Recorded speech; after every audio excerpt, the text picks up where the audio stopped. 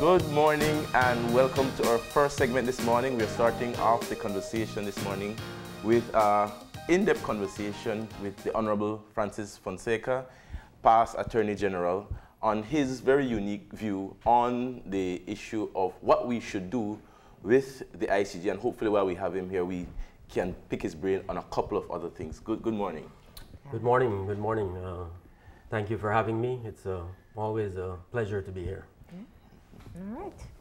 So let's start off with uh, your decision to put forward um, this perspective on the upcoming referendum and how people should vote. Sure. Um, if you'd allow me, Marlene, just to start by making 2 mm-hmm. very brief but I think very important points. One, this issue of Belize Guatemala relations mm-hmm. and the unfounded Guatemalan claim to Belize, for me, is a national issue. It has never been, and for me, will never be, uh, about, about partisan politics. It's above partisan politics. I think that's very important. Secondly, I think um, all of us are aware that passions are running high on every side of this discussion, this debate. And I think I certainly want to send the message, and I have tried to do so, um, to everyone that we all need to take a collective breath, if you like, and appreciate that people hold strong views on this issue. Um, they are entitled to do so, uh, and we have to respect people's views and opinions on this matter. Of course, um, they're not entitled to their own facts, they're entitled to their own opinions. Um, but we have to respect, and I think a lot of respect has been missing from the discussion and yeah. debate thus far. And I certainly hope moving forward um, that our discussion and debate uh, from every side can be grounded in respect. Yeah. And finally, a, a, very important point for me to make um, I think I want everyone to understand that um, I really believe that this entire issue, um, you know, it's, it's a critically important issue. Um, but for us to, to really understand and appreciate all sides, every side of this issue, we need to, I think, um, take a, a look back at the entire education campaign. I was the leader of the opposition. In fact, I think people have forgotten that in 2013, we had a major launch of the education campaign. We had a big ceremony. You can look at your archives. We had a big ceremony uh, at the Radisson Fort George Hotel uh, where both I and the Prime Minister spoke. And I think we both committed ourselves and our parties to a full, comprehensive, non-partisan, bipartisan uh, education campaign. Um, and regrettably, um, since that, after that, the truth is nothing really happened. Nothing really happened after that time. Um, so I think it's important for us yeah. to understand where we have come from and where we are today. Um, and th that, that's why I have I've reached this position yeah. in terms of saying we need to pause and, and take stock of where we are.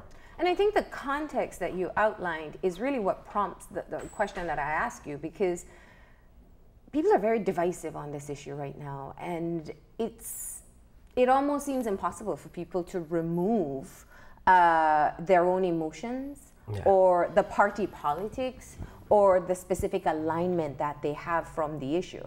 So knowing all of that, when you introduce your perspective and your thoughts on it, automatically people are trying to figure out where they should align you and your views. So knowing this risk and this possible consequence, why did you still decide to push forward with it either way? Yeah, I thought I thought I had an obligation to do so as a leader uh, mm-hmm. in the country, as a former leader of the People's United Party, as someone who has served in government. Um, I thought an, I had a, an obligation to do so. Um, you know, and I, I, I want to make this point as well. I think it's important that I would love for nothing more than for us to have a well informed, confident, um, united Belize going to the ICJ um, to resolve this unfounded claim. Mm-hmm. Um, that would be fantastic. That would be ideal mm-hmm.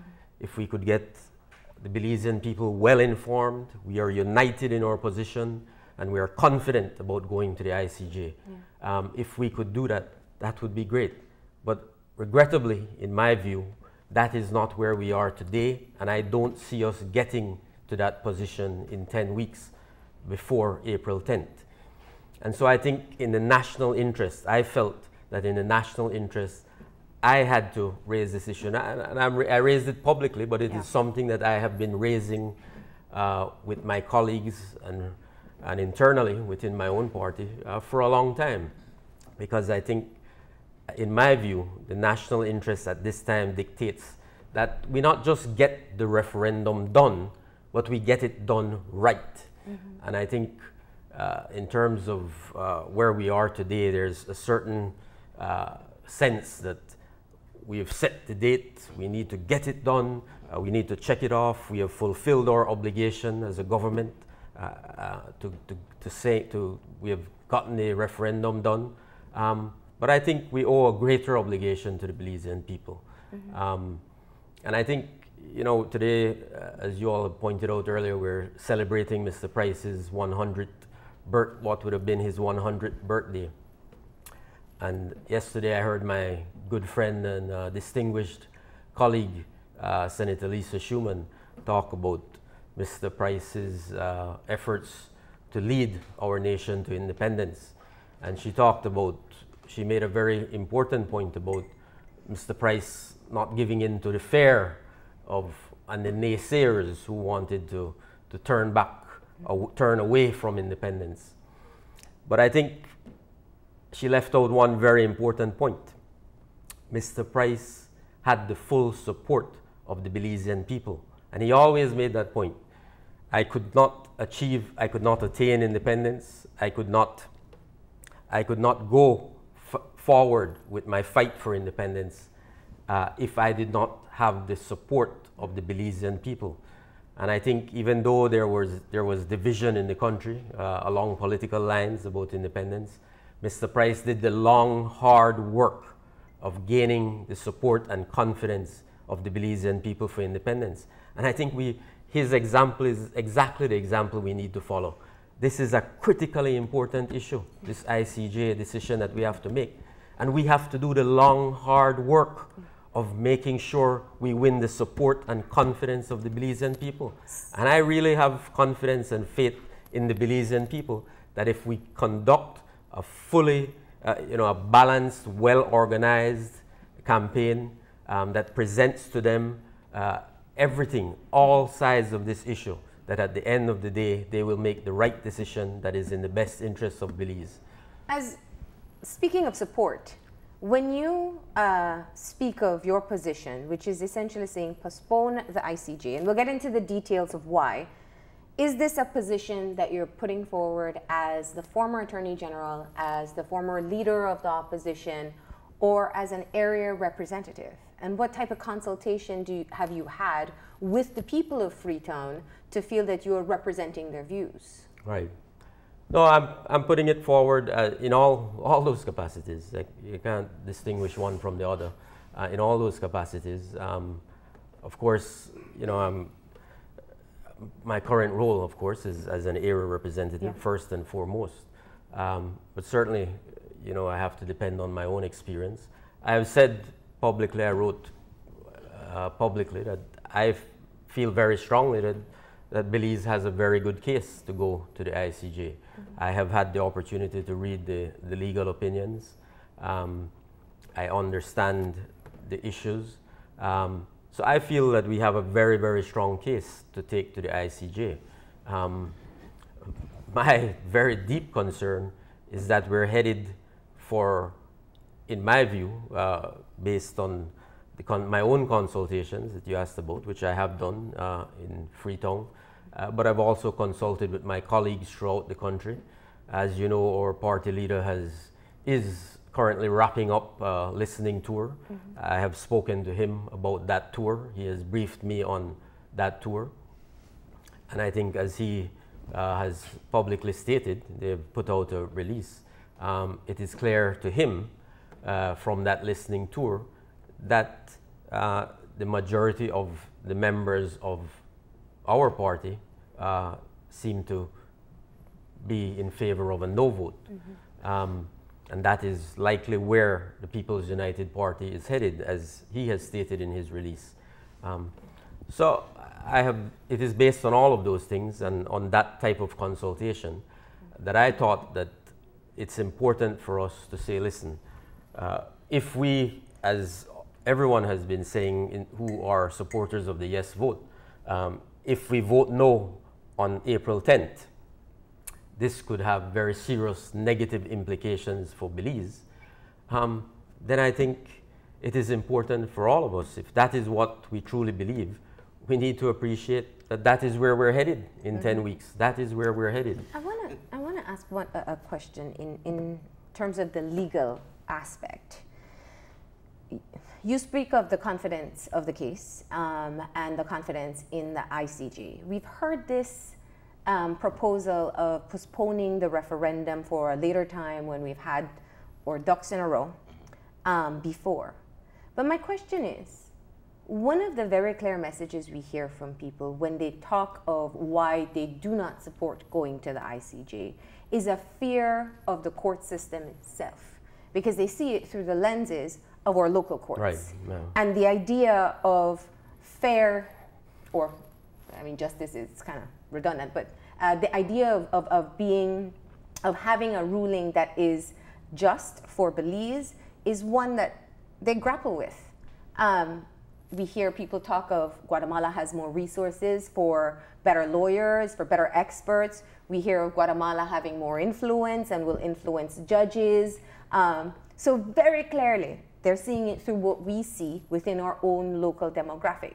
So, putting that into context, will there ever be a time that we will be able to convince Belizeans, especially those who are very adamant about no because they don't trust the court system, that the ICJ going to The Hague can be beneficial for Belize?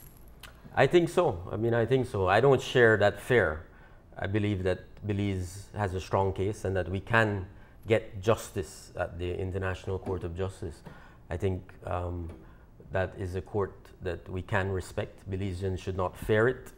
Um, so I think we can. But again, that is the very point that I'm making, uh, Kevin and Marlene, that we need to do the long, hard work. That fear, that fear is grounded in suspicion. Mm-hmm. It's grounded in, in my view, in an incompetent and chaotic education campaign. Um, take for let, let me make this point. Do you know that the 31 members of the House of Representatives, we have never had a briefing from the uh, the ICJ referendum unit? common sense would dictate to you that these are the 31 elected representatives of the Belizean people. Mm-hmm. Uh, they can help you to guide and shape public opinion. I would think that that would be an important place to start your education campaign by ensuring bringing in these individuals, having us together, and having an open discussion about this issue. Way back in 2013, way back in 2013. Um, you know, that kind of failure, mm-hmm. I think, has hurt us. Mm-hmm. Um, and I think it, it has impacted, negatively impacted the entire education campaign. Um, and my sense is today there's a lot of misinformation out there for sure. There's a lot of misinformation, but there's a lot of mistrust, a lot of mistrust. And I think um, we need, as I keep saying, we need to do the long, hard work. Um, I'm not talking about a deep freeze. I'm talking uh, the long, hard work of a non-partisan, if you want to call it, or yeah. a bipartisan campaign to educate the Belizean people. For, we, we had the five foreign ministers, um, the for, former foreign ministers, uh, their declaration that they signed why, in my, why was that not done in 2013 at the outset of this campaign? And then have those five former foreign ministers travel the country travel the country, take their message to the Belizean people in every section of this country, uh, and say to them why they feel so strongly uh, about a yes vote and why it is important for the future of Belize. That is the kind of campaign I think we needed to have and we can have. Um, and I think that can lead us to a place where Belizeans have confidence, uh, they are united in how they feel uh, about going to the International Court of Justice. Without that support and confidence, I think we're wasting time. Can I, in terms of um, the, the average Belizean doesn't understand, to my mind, the way that Parliament works. Um, and in terms of, I, I, or it doesn't work. Or, or doesn't work. And um, there is, to me, it's, it's like a snake. No matter how much you tell me that snake is not poisonous, I'm not going to touch it. You can give me all the science about it. The expert can sit down and say, Kevin, this, you look at its head, you look at its fangs, see it bit me, nothing. I don't want to touch that snake. And I think you hit the issue, the nail on the head in terms of the work of building trust. My question is in terms of how do we gain the trust of the Belizean population when for years the rhetoric in politics has been to distrust the same people now that you want to ask me to trust? How do we move from the position of how we've always been dealing with politics to the kind of politics, the statement politics yeah. that you're that we need now? Yeah, it, and it might even be worse than that, um, Kevin. I mean, I, I really have been reflecting on this issue, and I'm, I'm deeply troubled. I'm, I'm wondering if we've reached a point where we believe, and I mean when I say we collectively, that that um, buying elections, buying votes is the way to achieve our objectives, and not doing the long hard work necessary to win the hearts and minds of the Belizean people, because I've seen none of that. An issue like this requires leadership. This requires leadership. It requires the head of the country to take the lead, not five weeks or 10 weeks before, an, uh, before the referendum, but five years ago, I say, this is what I believe is in the best interest of the Belizean people, in best interest of Belize, mm-hmm. and lead that campaign across the country from one corner to the next. Um, that is what is required for this issue. It is as important as independence, in my view. Um, can I, can that has not been done. That has not been done. That is a failing, and we should not, you know, we should not hide from that. That has been a failing. And as a follow-up to that, one of my concerns is part of leadership is listening. It's about looking at the playing field and say, listen, I don't, I don't really like Kevin, but what he's saying there make a little bit of sense. This is a different configuration. To me, if I could outline the different configurations, the first is go to the referendum on April 10th and vote yes. That's one configuration. The second configuration is go to the referendum on April 10th and vote no. And the third is, well, let's put it in a deep freeze for 50 years and nobody negotiate, but also let's get an agreement from the same people we can't get an agreement from, which I don't see happening your position is sort of a collection of all of those things where you're saying, listen, we're not ready yet. But maybe if we had a little bit more time to do these things, which I'm sure you're going to get into in a little while, then we put ourselves in a better position to hear what the people want and to get their hearts and minds together. What, what prevents the leadership, the the leader of a country and from all those people who have control of it, because we live in this parliamentary democracy that there's this all or nothing sort of power, from listening and saying, listen, what the Honorable Francis Fonseca is saying is, a, is an option, it's a, it's a third option. What prevents the government, in your mind, from actually considering this, which is like a middle ground between all the positions that everyone has? I don't think there's anything standing in the way of of them adopting my position. Um, remember, we had a referendum date set back in 2013. I think it was Mm-hmm. October 6th or something.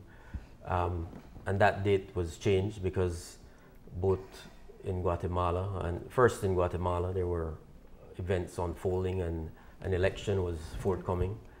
Um, and then here in Belize, um, again, we, we turned our attention to, to elections, and Mr. Barrow, in my view, was singularly focused on, on winning a third term. Um, and so I don't believe that there has been a genuine, sincere effort to have a bipartisan education campaign that is balanced, that is well organized, that provides Belizeans with the information that they need to have. That has not been done. Um, and now we're jumping up uh, and signing declarations and saying to the Belizean people, vote yes. We want them to vote yes, but we have not put in the work uh, to guide them to voting yes. Let me let me just uh, kind of hone in on, on some of the things that you've been saying. One is that we should postpone. One is that the ideal situation is to take this issue to the ICJ. You understand the merits, or you agree with the fact that we have a very strong case uh, that can hold up at the International Court of Justice. But that the writings on the wall, the sentiments from the public, is that we will most likely on April 10th get a no vote. So the idea of postponing is for a future date is to wait until we can surely get a yes vote from the Belizean public. This is hinged on several things, and I want to start off with the Sarstoon Protocol because this has been one of the issues we've been discussing for years, and we perhaps haven't done a recent story from the South, but one would guess that things haven't changed. We've heard from the Guatemalans and we've heard from our own representatives the very same message that why pursue a protocol now if you have the option of going to the ICJ? That's what we were told from the Guatemalan side. Uh, we know that Belize had been pushing, um, and essentially Guatemala backed down from the agreement that they made in Turkey. What makes you optimistic that this is achievable when one party, quite frankly, the Guatemalans, seem unwilling to move towards it?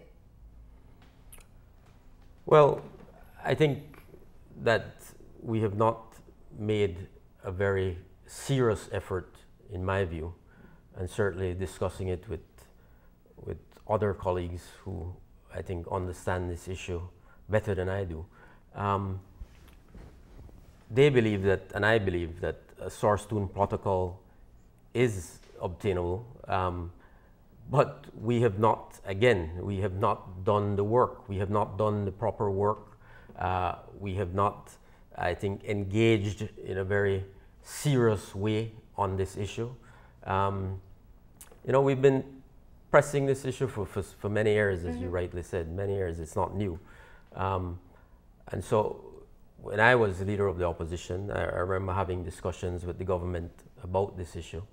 Um, and consistently saying to our leaders, um, we need to come together, we need to sit down together uh, as opposition and government um, to try to frame this discussion and this debate about the Sarstoon Protocol. Um, that was, we, we never achieved that, that was never done. So I think that we have not sufficiently uh, delved into this issue. We you feel that we're not pressuring enough for the protocol?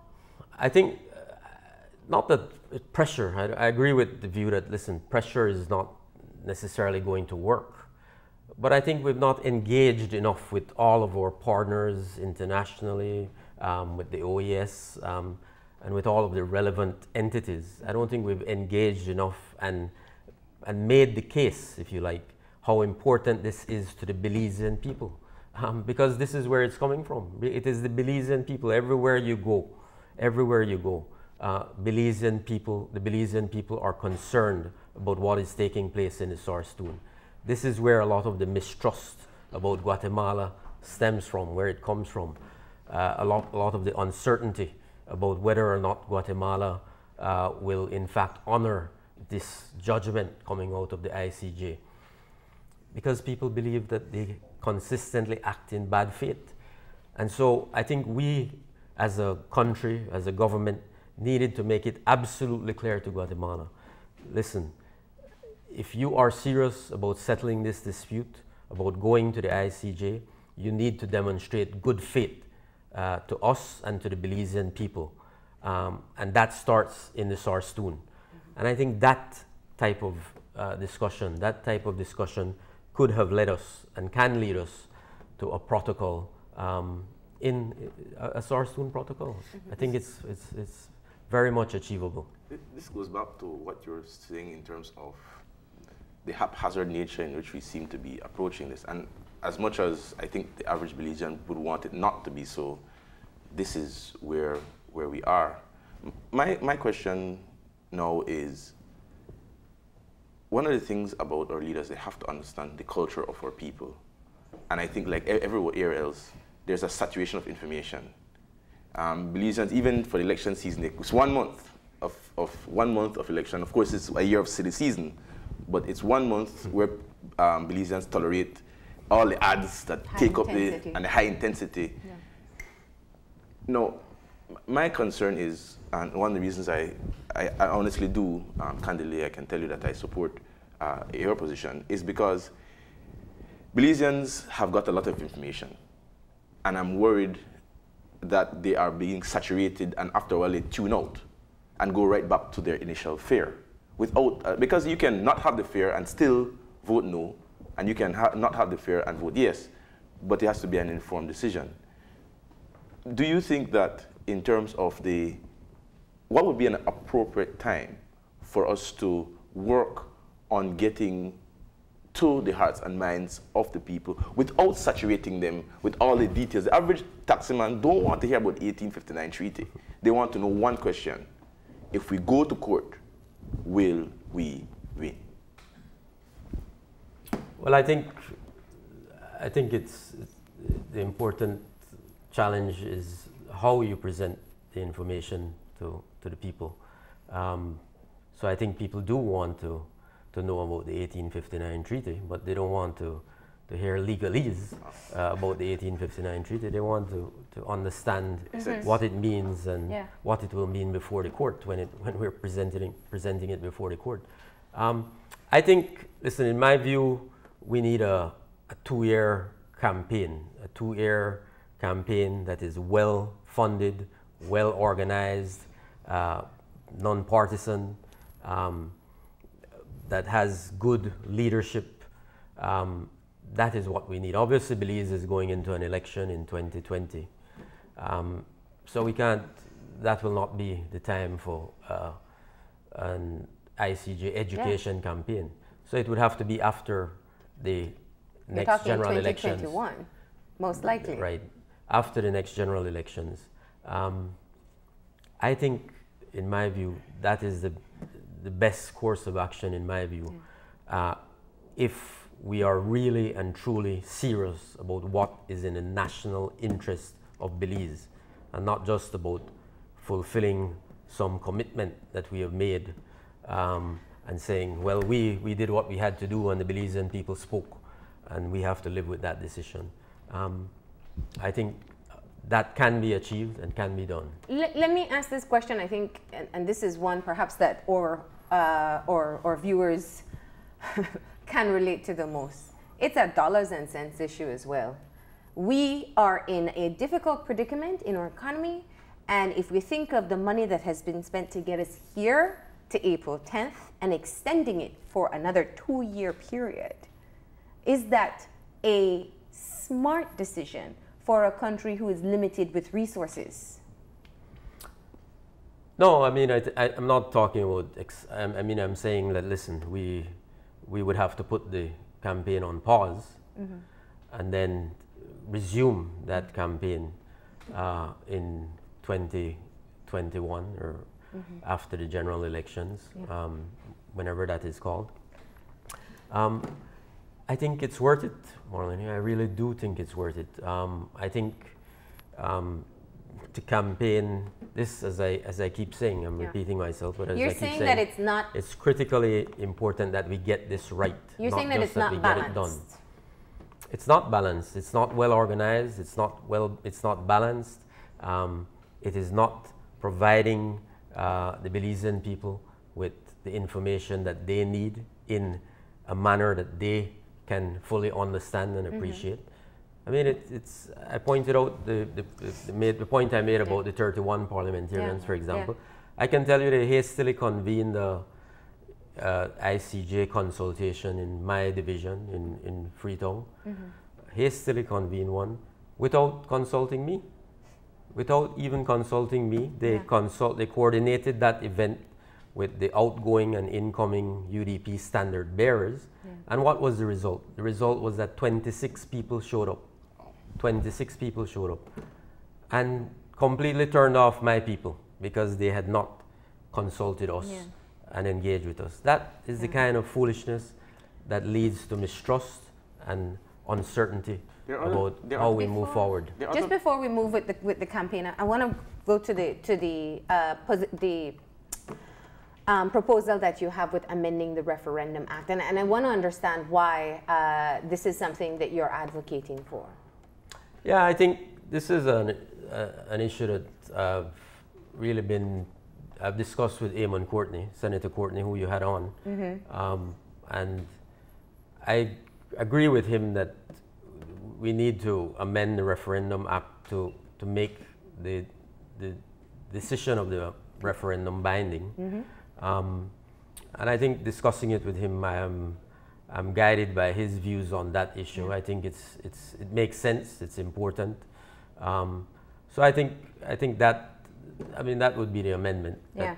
That, to make, make, it binding. Make it binding so yeah. that the government of the day would, in fact, have to respect mm-hmm. the will of the Belizean people. In, in, terms of some of the groundwork, we just went through a re-registration. I don't know if we finished it or we're. It's still ongoing. It's still ongoing, and to think that while we're on it, it, I don't know. This, it, it, it just seems that you would want to finish the registration yeah. process and, and have it done properly before you go into well, this, any kind of yeah th that's an issue I, I, really I feel very very strongly about and I can tell you mm -hmm. a lot of my colleagues feel very very strongly about this issue and that has led to a lot of frustration um, and again a lot of mistrust because we are faced with many many obstacles to getting people re-registered, to getting people re-registered. Um, and certainly, it is not my view that that we should go to the referendum on April 10th. It's, and it's certainly not the view of my colleagues. If you go down south and go, go up west and talk to these guys in particular, they feel they are very, very, very concerned um, that their voters are not on the voters list and will not have an opportunity to participate in this referendum on April 10th. Um, you know, I can tell you in some divisions we have like uh, in Stann West, for example, I think over 800 applications for birth certificates pending. Mm. Um, okay. Those people can't register to vote. Um, we have many, many cases, uh, even in my own constituency, where people who have voted for 50 years can't get back on the voters list. Um, and so there's a lot of, a lot of, a lot of. So the concern is that some of the issues we're seeing at Vital Statistics are hindering the process absolutely. of registration. Absolutely, okay. absolutely. And unfortunately, um, you know, people feel that there is a deliberate strategy, and many in my party feel that way, certainly, that there is a deliberate effort and strategy to frustrate some voters uh, and to keep them off the voters list. Um, so that is a very, very important issue. And I think we need uh, to sit down again, government and opposition, if we're serious about this uh, referendum, we have to sit down together and work out a bipartisan solution to those problems so that everyone can feel confident about the voters list, that we have a free and fair voters list, that our voters, their voters, everyone has had an opportunity mm-hmm. to get properly registered. And that's not this is the case right now. In terms of, uh, you just call a very large number, 800, that is a significant percentage of voters, which could affect for um, Absolutely. Yeah. the outcome. So it would not be necessarily a true result from that uh, uh, angle. But I, wanted to, I wanted you to expand a little bit more in terms of uh, something that's plaguing me in terms of being able to properly get the views of all our leaders. I commend you for putting your position on paper. Mr. Courtney has put his position publicly. The five foreign ministers have, or deputy prime minister has, or prime minister has. But there are quite a few other of um, your colleagues in parliament who have, to my opinion, deprived the public of saying, listen, this is where I honestly stand. Whether or not it's my personal view or it is the view that I adopt from my party. And I believe that the, in Belize is a popular vote. And, and so surely there are a significant, a majority of persons who want to hear from each and everyone. If, and a decision this important, I just don't want to hear from the PUP. I want to hear Right. from everyone. Um, what do you think restricts or limits some of your colleagues in Parliament, the remaining of the 31 who have not put their position forward, from really coming forward and saying, listen, I either agree with Mr. Courtney, I agree with the Prime Minister, I agree with Deputy PM, from putting, from giving the general public that benefit of what they think and what they believe. Yeah, I think to be fair to my colleagues, I think um, I think certainly down the, the Southern Yeah. Caucus, for example, of Yeah. the People's United Party, has made their position very clear. They are no. Um, I think Julius Espat Mm-hmm. And in Karim. Cayo South and Kareem Musa in, from Caribbean Shores have also are also on record Mm-hmm. as being opposed to going to the ICJ. Um, I think other colleagues have, I think out of respect, I think uh, are waiting for the party to, to make a final determination. Um, on the other side, obviously, I can't speak for, for ministers of government. Um, I think perhaps they are taking a cabinet position and, and I haven't even and heard believe- that though. well, I think I think the cabinet is in is in support of a yes vote. no? I think that's the case. Um, If we're to look at this as, as to what seems to most likely happen, the, the People's United Party, as I've said before, the writing on the wall seems to be that their united position will be a no to the ICJ. it seems that way. The yeah. Prime Minister, the Foreign Minister, and most of the uh, current government representatives have stated publicly that they support going to the ICJ, which means once again, we are in a position where there is a clear divide between what one party supports and the other. My question is I feel that this is going to be the situation, whether it's a referendum in 2019 or a referendum in 2021, 22, 25. Um, how do you talk with voters? How do you talk with the public and ask them to remove their support for what their party sees? Yeah, I think I don't agree with you, Marlene. I don't believe that this would be the case at any point in time moving forward. I, I don't accept that. Um, I really believe, as I have said, that if we had conducted a proper education campaign, if we had truly engaged the Belizean people, um, because there was goodwill, good faith.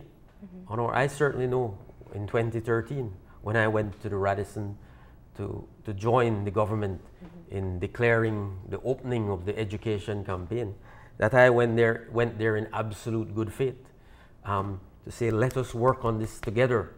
Let us engage the Belizean people together. All I asked of the government was that it be a balanced campaign, campaign that we not try to shove down the throats of the Belizean people one side of the discussion, one side of the debate.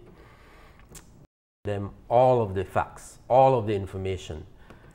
We did not do that, and in that void, in that vacuum, that is where all kind of people jump up, all kind of people get up and became experts on the ICJ and holding press conferences and, and making pronouncements about the facts of this matter. but can it a be lot undone? of misinformation. Can it be undone? It has to start anew. Mm-hmm. It has to start fresh. There has to be a fresh start. Mm-hmm. Um, that's life. Yeah. Sometimes we have to understand that something has been has, has died, something has come to an end, and we need to make a new start.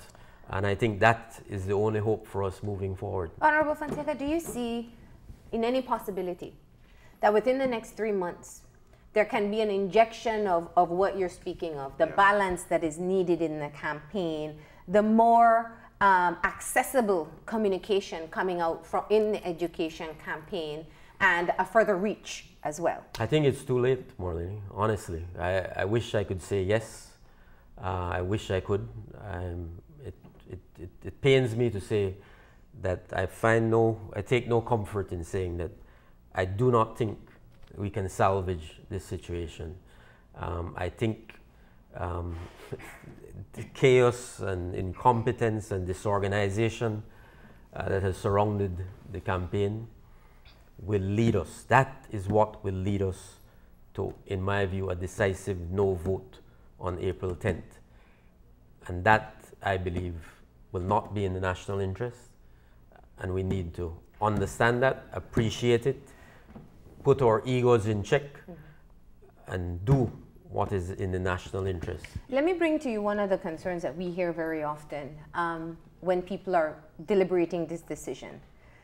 The, those who are pushing for a yes vote say exactly what you have said in your article publicly and on, on this in this conversation here that we have a solid case.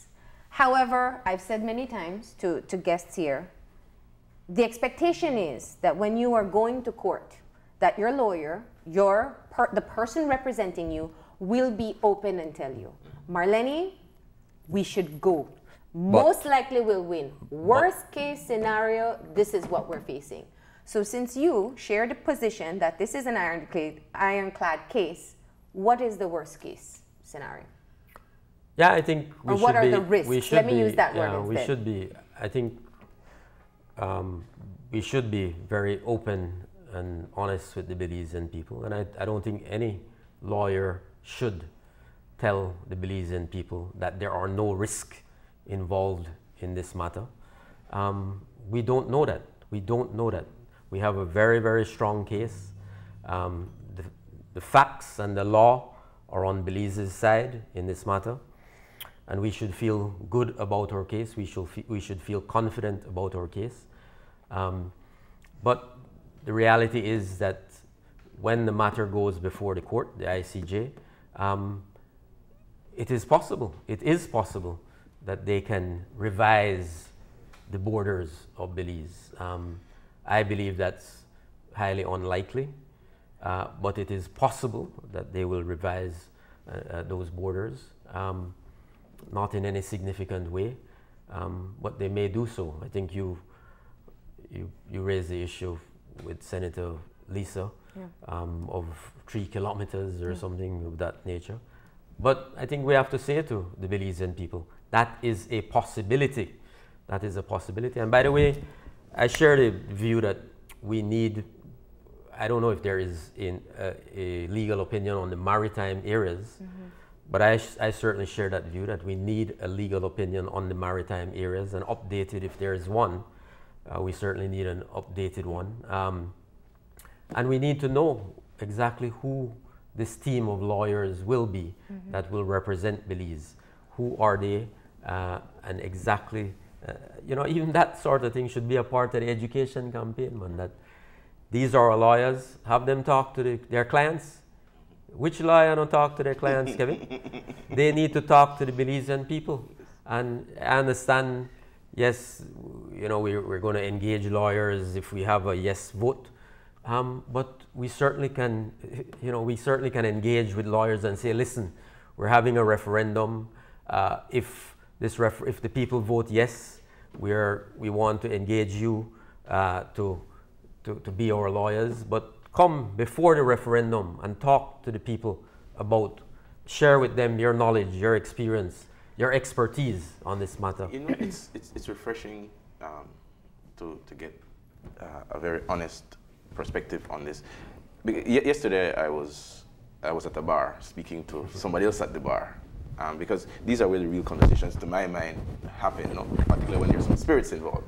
Yeah. But um, what what the gentleman was saying. I, I was at a barber shop on Sunday, and we had a very spirited conversation about the ICJ as well. I was so- at neither, so the conversation happens everywhere at a family function. Yeah, sure. But But, that shows how important this, Yes. how much this is at the, the front of everybody's mind. No, listen, the, Yeah. uh, sorry to Go ahead. interrupt, but the, the guys in the barber shop, there were, were five or six, and then guys say, boss, we're not ready for this thing. That, that, that, uh, that's what I've been saying here for the past half, what they say it in one sentence. Yeah. Boss, we're not ready for this thing. Yeah. Um, it's, it's as simple as that. They understand. Yes. But the the, um, the sentiments of the gentleman, um, who's a well-respected gentleman, said he said, Kevin, he felt that the education campaign was not honest, and funny enough, he is a proponent for a yes vote. Right.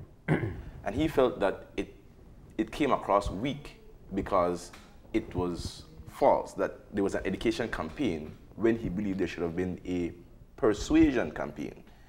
The leaders should have gotten together, both PUP and UDP, and said, listen, and, and to get the, the third parties involved. Right, We all come together, whatever you want us to change the referendum people act, we'll get that done. You want us to, we'll get that done. And then they all came to the people and said, listen, we as the doctors, as the brain surgeons, we've been through this thing.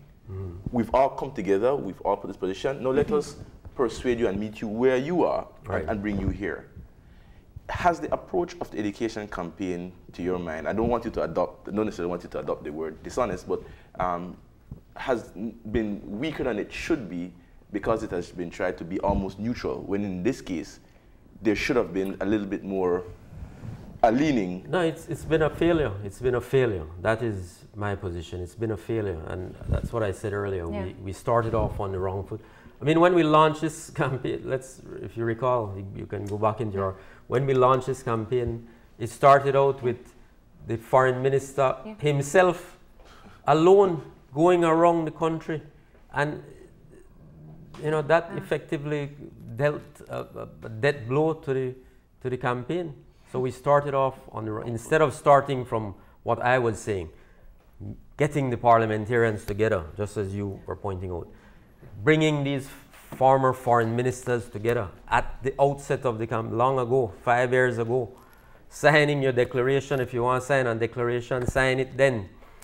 And go out, go out and say, listen, the collective expertise and the collective experience of our foreign ministers for the last 35, 37 years, this is our position. Take that to every village in the country, every town in the country. That would have been a powerful education campaign, a real education campaign. We have failed the Belizean people, and now 10 weeks before the, the, the date, the decision date, the date, we want to jump up, have some ceremony, because it was more theater than substance, have some ceremony and say to the Belizean people, vote yes, without having done the hard work of winning the hearts and minds of the Belizean people. We have failed the people, and we have to understand and accept that and correct it before it's too late. Now, my final question. The Prime Minister has openly said he's not considering changing the date. Um, as much as time is up for this conversation, come to- April to- 9th, To, quote time will Eamon be up. Courtney, he's not the king of Belize. Agreed, agreed. But there seems to be no likelihood, or there seems to be no indication that it's being considered. Let's say we proceed with the date as planned. Just like time is up for the segment, time is up on Belizeans to make that decision. Where do you see yourself in talking to any person who comes to you for advice? Will you tell them, vote no on April 10th? I even will- though you support the fact that the ICJ may be the best place to No, as it? I am on record publicly saying that I cannot support a yes vote in the current context of this education campaign. Um, so I could not, in good faith, honestly say to any Belizean, uh, I've shared my views with my Freetown committee and with residents. Um, I cannot encourage them to say, to vote yes uh, in the current environment that we're in. Um, Can, we have a lot of work to do. can I ask my final question? And, and it might, if it's a repeat of my former question, please excuse me. But